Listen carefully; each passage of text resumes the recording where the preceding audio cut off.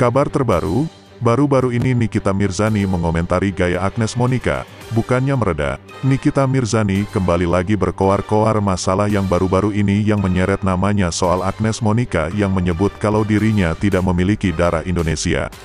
Namun sebelum lanjut, alangkah mulianya jika Anda menekan tombol subscribe, dan nyalakan lonceng notifikasinya, agar Anda tidak ketinggalan berita terbaru dari channel ini. Jika sudah, mari tonton video ini sampai selesai. Nikita Mirzani diketahui bereaksi begitu keras karena ungkapan Agnes Monica dalam wawancara salah satu acara di Amerika Serikat perihal garis keturunannya. Ibu tiga anak itu yakni tetap meladeni para penggemar Agnes Monica yang dinilai Nikita Mirzani, melawam, secara frontal. Baru ini, Nikita Mirzani justru dianggap menjilat ludahnya sendiri atas perkataannya. Rabu, tanggal 27 November tahun 2019. Diberitakan banjarmasinpost.co.id sebelumnya, Nikita Mirzani mengungkapkan kekecewaannya lewat Instagram dengan pernyataan Agnes Monica yang menyebut tidak memiliki darah Indonesia. Sebagai warga Indonesia yang mencintai negaranya serta sebagai seorang penggemar Agnes, Niki merasa kecewa berat. Penjelasan dari Nyai Nikita Mirzani yang kalian anggap bodoh ini. Dengarkan baik-baik, kenapa harus Agnes Monica bilang gue tuh nggak ada darah Indonesia? Bilang aja gue itu warga negara Indonesia. Kalau dia ngomongnya di Indonesia, kalau lagi diwawancara di Medan nih, oh iya gue itu ada darah ini ada darah itu. Bisa dimengerti, berarti dia campuran ini. Kalau dia wawancaranya di situ, di Amerika, jadi terkesan. Agnes Monica itu cuma numpang brojol aja di Indonesia. Kalau dia wawancaranya di situ, di Amerika, jadi terkesan. Agnes Monica itu cuma numpang brojol aja di Indonesia. Percuma dong Agnes Monica bawa batik, kemarin juga nari Papua segala macem. Dibawa ditaruh di tasnya, tiba-tiba dia ngomong begitu. Gue sebagai fansnya Agnes Monica hati gue hancur. Gue cinta banget sama negara gue. Walaupun gue suka ditindas di sini, tapi gue nggak masalah dan proud to be Indonesia dan the people.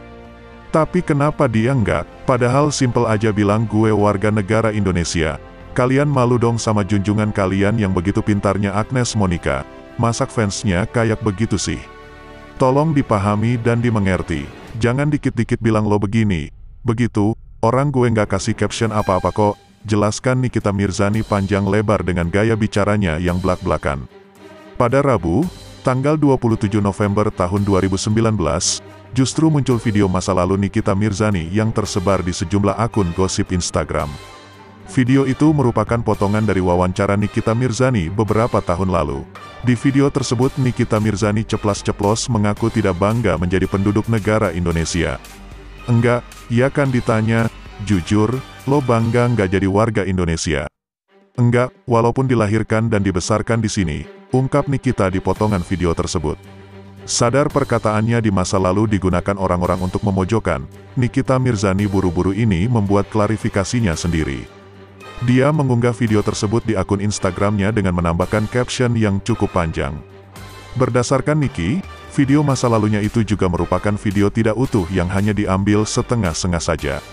Nikita Mirzani menyatakan jika memang dia mengungkapkan tidak bangga menjadi penduduk warga Indonesia, yaitu teks dalam ucapannya saat itu adalah saat dirinya mengalami ketidakadilan pada hukum. Nikita Mirzani juga menyinggung soal bayar pajak yang rutin dia lakukan sebagai bentuk kecintaannya pada tanah air. Inilah pembekaan Niki, pada heboh ngetak-ngetak gue video adul.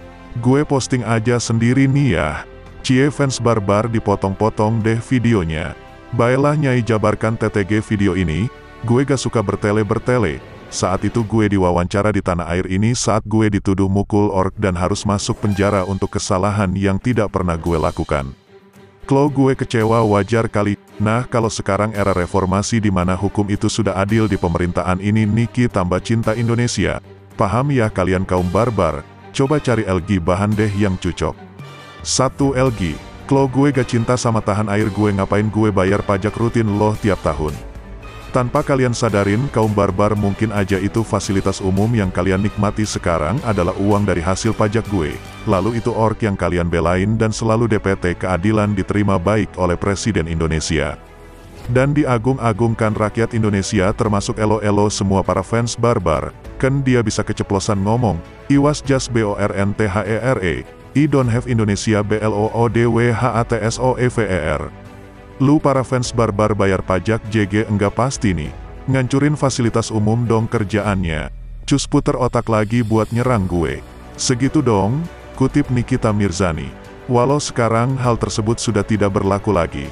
Tidak berakhir di Nikita Mirzani, sindiran keras juga datang dari kuasa hukum kondang Hotman Paris Hutapea, tegasnya.